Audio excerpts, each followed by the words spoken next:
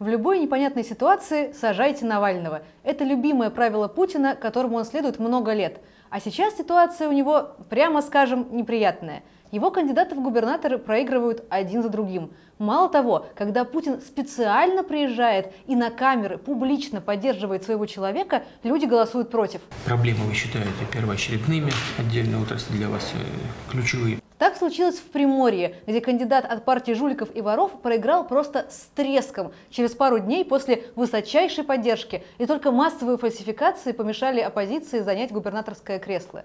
Повышение пенсионного возраста, инициированное Путиным, показало всем гражданам страны, что его правительство окончательно провалилось, и не стоит ждать от него ничего хорошего. Мы вместе с вами сделали очень многое, чтобы превратить общее недовольство людей в их конкретные действия и голосование против Путина и его кандидатов.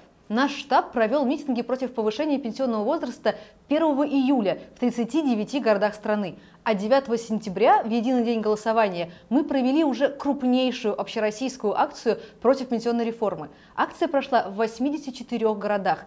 Да, сотни людей были задержаны, но тем не менее одним из последствий этих митингов стало то, что результат «Единой России» упал с начала года в среднем на 16%, а несколько путинских губернаторов проиграли выборы впервые за много лет. Ну, вот и неудивительно, что взбесившийся Путин теперь пытается отомстить Навальному и посадить его в тюрьму. Сейчас я расскажу вам, в чем замысел власти, чтобы вы хорошо понимали его и не дали себя обмануть. Есть такая статья Уголовного кодекса 212.1, придуманная специально для тех, кто отказывается молчать. Она предусматривает наказание в виде лишения свободы на срок до 5 лет и применяется к тем, кто неоднократно нарушал правила организации митингов.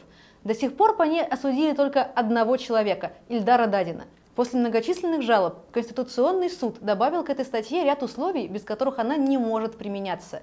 Если эти условия не выполняются, то суды отказывают в возбуждении уголовного дела. И такое, как ни странно, в российских судах уже случалось несколько раз. Так вот, сейчас я расскажу вам, что это за условия, и вы поймете путинский план. Сначала надо осудить человека за нарушение порядка проведения митингов. Таких судов у Навального хоть добавляй. До этого он был арестован на митинге 5 мая. Потом нужно осудить человека за нарушение порядка проведения митингов повторно. И главное, в течение полугода с момента первого нарушения. Это произошло с Навальным в августе. Его посадили за митинг полугодовой давности. Ну и, наконец, третье и самое главное. Без этого условия уголовное дело не возбудят.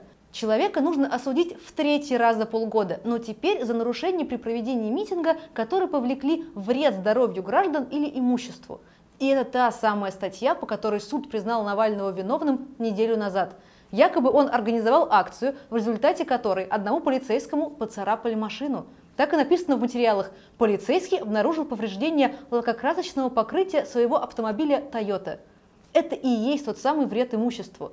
Благодаря этому последнему решению теперь соблюдены все условия для возбуждения уголовного дела. Навальный трижды за полгода был признан виновным в организации митингов, на одном из которых полицейскому поцарапали автомобиль. Мы не знаем, что произойдет за те две недели, которые Алексей еще проведет в спецприемнике. Возможно, его прямо оттуда увезут на новый суд, на этот раз по уголовному делу. Возможно, он успеет выйти на свободу после 50 дней своего заключения. Наверняка мы знаем только одно. Сажать его – это единственный ответ на все вопросы, которые есть у Путина. Путин ничего не может сделать с тем, что российская экономика разваливается, что люди нищают. Он может только грабить их еще больше, теперь повышая пенсионный возраст. Ни он, ни его дружки ни на минуту не перестают тащить деньги из бюджета на свои дворцы и яхты. И единственный способ заглушить недовольство для них – это арестовать тех, кто борется против и открыто называет их ворами – Административных арестов Путину мало, поэтому теперь он собирается возбудить против Навального уголовное дело. Но мы не должны отчаиваться и сидеть сложа руки. Нужно каждый день делать что-то против этой власти. Пускай мелочь, но каждый день. Ваш лайк или репост, разговор со знакомыми, соседями, таксистами – все это не впустую. Не бойтесь говорить правду, они не смогут остановить всех. И подписывайтесь на наш канал, потому что здесь говорят правду.